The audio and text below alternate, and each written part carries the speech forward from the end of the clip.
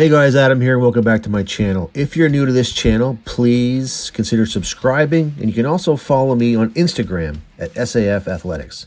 Okay, so I want you guys to consider the following question What happens to us as we age? Aside from the well known physical and mental changes that come with age, what about something like speed and the effects on running, jumping, and changing direction quickly?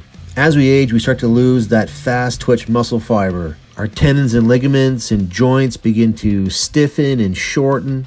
So consider taking the balanced approach to your training and adding some fast, quick movements, explosive movements like the Olympic lifts, like the hip snatch, for instance, which will help your sprinting speed, your vertical jump, your flexibility, mobility, body composition. The benefits are undeniable. Now, what about posture?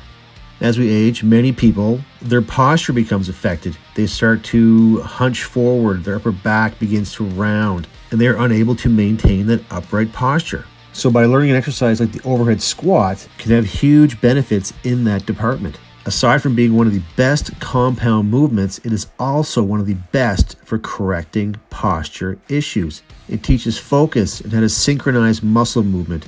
It will strengthen your core and improve your shoulder mobility because the bar is slightly behind your head. Now, the big question to consider is can anyone do overhead squats? And the short answer is no. There are always exceptions. Some people that have severe mobility problems or have had surgery on their shoulders or on their ankles or on knees or hips probably can't do overhead squats. But for most people who have good mobility, average mobility can learn how to do overhead squats. But you want to start light. When I started these, at 35 years of age, I used a broomstick until I built the flexibility, the balance, the mobility to do these. And over the years, I've gotten to the point where I can do a full depth overhead squat. And one thing that makes them both difficult and rewarding is that your knee has to track forward over your foot.